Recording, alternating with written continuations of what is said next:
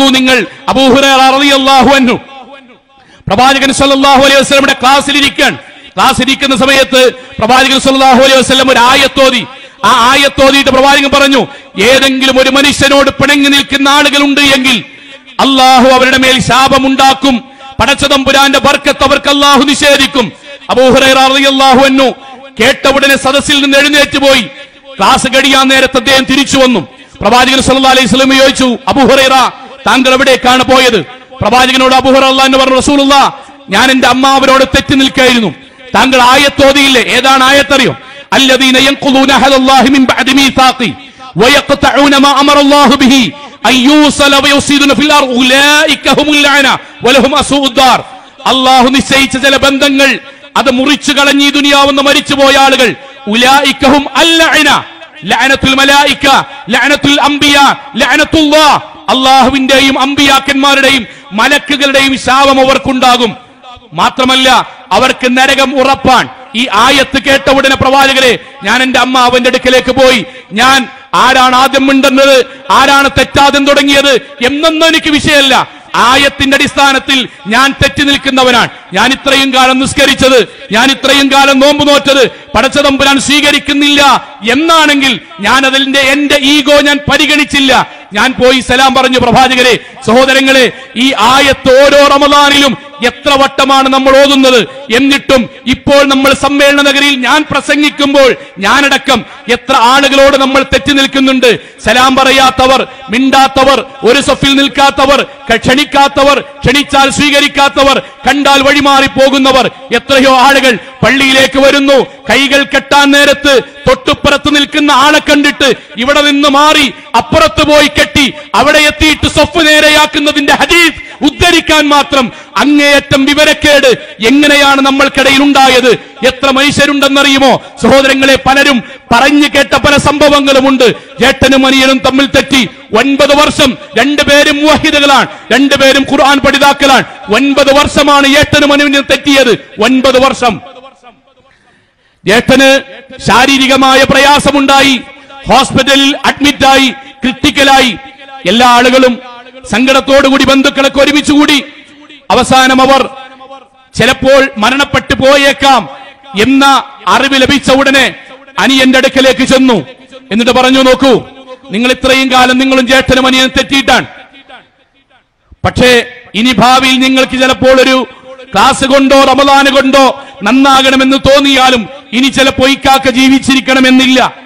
കാരണം അങ്ങേയറ്റം ക്രിട്ടിക്കലാണ് ഡോക്ടർമാർ പലരെയും ഒന്ന് കാണാൻ വേണ്ടി പറഞ്ഞിട്ടുണ്ട്. എല്ലാവരുടെയും നിർബന്ധത്തിന് വണങ്ങി അനിയൻ ചെന്നു. ഐശയുടെ ഉള്ളിലേക്ക് ഡോക്ടറുടെ നിർദ്ദേശപ്രകാരം കയറി. മരണാസന്നനായി കിടക്കുന്ന അത്രയും രോഗം മൂർച്ഛിച്ച ഇക്കാക്കയെ കാണാൻ ഒൻപത് വർഷത്തിനു ശേഷം അത്രയും കാലം നമസ്കരിച്ച അനിയൻ ചെന്നു. ഒന്ന് രണ്ട് മിനിറ്റുകൾക്ക് ശേഷം തല താഴ്ത്തി തിരിച്ചു വരുന്നു. കൂടെയുള്ള ആളുകൾ ചോദിച്ചു അല്ല എന്താണ്? അദ്ദേഹം പറഞ്ഞു ഒന്നുമില്ല. ഒന്നുമില്ല. അല്ല എന്താണ്? ഒന്നുമില്ല. എന്തുണ്ടായത്? അതിന് അദ്ദേഹം പറഞ്ഞ വാക്കെന്താ സുഖങ്ങളെ ഞാൻ ഇക്കാക്കയോട് സലാം പറഞ്ഞു. ഇക്കാക്ക ചോദിച്ചു ചത്തോ നോക്കാൻ വേണ്ടി വന്നതാണോ?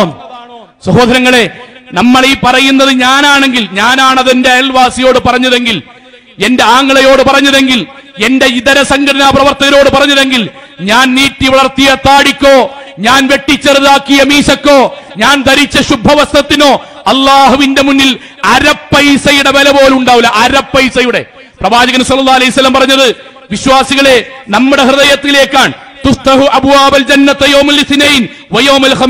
എല്ലാ തിങ്കളാഴ്ചയും എല്ലാ വ്യാഴാഴ്ചയും അള്ളാഹു സ്വർഗത്തിന്റെ കവാടങ്ങൾ തുറക്കും നരകത്തിന്റെ കവാടങ്ങൾ അടക്കും പാപങ്ങൾ പടച്ചു തമ്പുരാൻ എല്ലാം ആ ദിവസങ്ങളിൽ പുറത്തു തരും. അതുകൊണ്ടാണ് ആ ദിവസങ്ങളിൽ സുന്നത്ത് നോമ്പ് വെച്ചിട്ടുള്ളത്. എന്നിട്ട് പ്രവാചകൻ സുല്ലാസ്ലം പറഞ്ഞു രണ്ട് മനുഷ്യരുടെ പാപങ്ങളല്ല പുറക്കൂല. രണ്ട് മനുഷ്യരുടെ അമലുകളല്ല സ്വീകരിക്കൂല. സഹാബാക്കൾ ചോദിച്ചു മൻഹുമായ റസൂലല്ല? ആരുടേതാണത്? ഷിർക്ക് ചെയ്തവരുടേതാണോ? വിദാത്ത് ചെയ്തവരുടേതാണോ? പ്രവാചകൻ പറഞ്ഞു അത് പ്രത്യേകമായിട്ട് പറയേണ്ടതില്ല. പിന്നെയോ തൗഹീദുണ്ട്. സുന്നത്തിൽ തന്നെയാണ് നീയത്ത് ശരിയാണ്. ഇസ്ലാമിന്റെ മുഴുവൻ നിയമങ്ങളും പാലിച്ച് അമൽ ചെയ്തതാണ്. പിന്നെ എന്തേ സ്വീകരിക്കാത്തത്? കാനത്ത് അവർ രണ്ടുപേരും തമ്മിൽ പിണക്കത്തിലാണ്. സലാം പറയില്ല മിണ്ടൂല ക്ഷണിച്ചാട്ടണം സ്വീകരിക്കൂല വഴിവിട്ടെടുക്കൂല ഒരാൾ കല്യാണത്തിനുണ്ട് എന്ന് പറഞ്ഞാൽ അയാൾ ആ കല്യാണത്തിന്റെ സദസ്സ് നിറങ്ങാതെ ഇയാൾ അവിടേക്ക് പ്രവേശിക്കൂല. സഹോദരങ്ങളെ പറഞ്ഞത് എന്തെന്നറിയുമോ സഹാബാക്കൾ ജാഹിലിയ കാലഘട്ടത്തായിരുന്നപ്പോൾ ഏതൊരു സ്വഭാവ രീതിയിലാണോ ആ രീതിയെ ഖുർആൻ കൊണ്ട് മാറ്റി യത്ലു അലൈഹിം ആയാത്തി കിതാബ വൽ ഹിക്മ മിൻ ഖബ്ല ഫീ ളലാലി മുബീൻ. അവർ അങ്ങേയറ്റം വഴികേടിലായിരുന്നപ്പോൾ അവരുടെ ജീവിതത്തിൽ ഉണ്ടായതാണ് ഇതുപോലെ തെറ്റ് ഇതുപോലെ പലിശ ഇതുപോലെ ഹറാം ഇതുപോലെ അവിഹിതങ്ങൾ.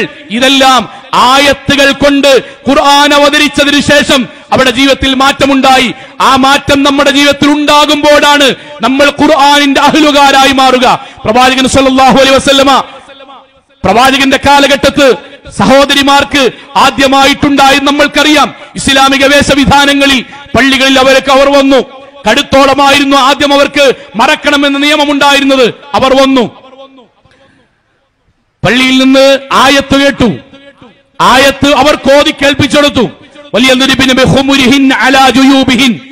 അവർ അവരുടെ മാരണത്തിലൂടെ അവരുടെ വസ്ത്രം താഴ്ത്തിയിടട്ടെ സഹോദരിമാരെ. അടുത്ത വക്ത് ജമാഅത്തിന് സഹോദരിമാർ അവർക്ക് കിട്ടിയ വസ്ത്രം കൊണ്ട് മാടം മറച്ച് അവർക്ക് കിട്ടാത്തവർ അന്നത്തെ ഏതെങ്കിലും ഒരു ഇലകൾ കൊണ്ട് മാടം മറച്ച് അവർ പള്ളിയിലേക്ക് ജമാഅത്തിന് വേണ്ടി വന്നു. എന്തേ കാരണം? ആ ആയത്ത് ഞാൻ കേട്ടു. ഇനി ആയത്തിനനുസരിച്ച് ജീവിച്ചാലാണ് എനിക്ക് കബറിൽ ഉത്തരം പറയാൻ ലഭിക്കുക എന്നവർക്കറിയാമായിരുന്നു. സഹോദരിമാരെ എത്ര തവണ എത്ര തവണയാണ് നമ്മൾ ഈ ആയത്തുകൾ കേട്ടത്? എത്ര ഖുർആൻ വചനത്തിലൂടെയാണ് നമ്മൾ ഇതിനെക്കുറിച്ച് പഠിച്ചത്? എത്ര ഹദീത്തിലാണ് പഠിച്ചത്? പരിശുദ്ധ ഖുർആാനിന്റെ പരിഭാഷകൾ പഠിച്ച് ലേഖനം എഴുതി റാങ്ക് വാങ്ങുന്ന നമ്മുടെ മക്കളുടെ വിവാഹത്തിന് നിക്കാഹ് ചെയ്യാൻ മൗലൈമാരെ കൊണ്ടുവരുമ്പോൾ മുഴുവൻ കൈയും ഇസ്ലാമികമായി മുഖവും മുൻകൈയും ഒഴികെ ബാക്കി ഭാഗം മറക്കുന്ന എത്ര പെൺകുട്ടികൾ നമ്മുടെ മുജാഹിദ് കുടുംബങ്ങളിൽ നിന്ന് പുതുമണവാട്ടികളായി പുറത്തിറങ്ങുന്നുണ്ട് എന്ന ചോദ്യത്തിന്റെ ഉത്തരമാണ് ഖുർആൻ. നമ്മുടെ വീടുകളെ ഷെൽഫിലുകളിലാണോ അല്ല ഹൃദയത്തിലാണോ എന്ന പരിശോധനയുടെ ഉത്തരം.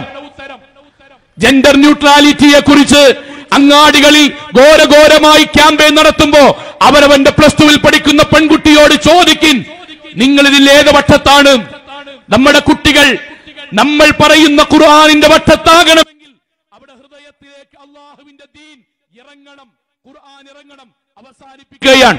പറഞ്ഞതിന്റെ രത്ന ചുരുക്കം എത്രയേ ഉള്ളൂ. കേൾക്കുന്ന ഓരോ ആയത്തുകളും സഹാബാക്കൾ ജീവിതത്തിൽ പകർത്തി സഹാബാക്കൾ പറയുന്ന ഒരു വാക്കുണ്ട് മുജാഹിദുകളെ ഇതാകണം നമ്മുടെ ജീവിതത്തിൽ ഉണ്ടാകേണ്ടത്. കുഞ്ഞ ഇതാ നബി ഖുർആൻ. പ്രവാചകൻ അലൈഹി വസല്ലമ ഞങ്ങൾക്ക് പത്ത് ആയത്തുകൾ ഖുർആനിൽ നിന്ന് ഓതി കേൾപ്പിച്ചു തന്നാൽ ഞങ്ങളെ പഠിപ്പിച്ചാൽ ലം നതഅല്ലം മിനൽ മിനൽ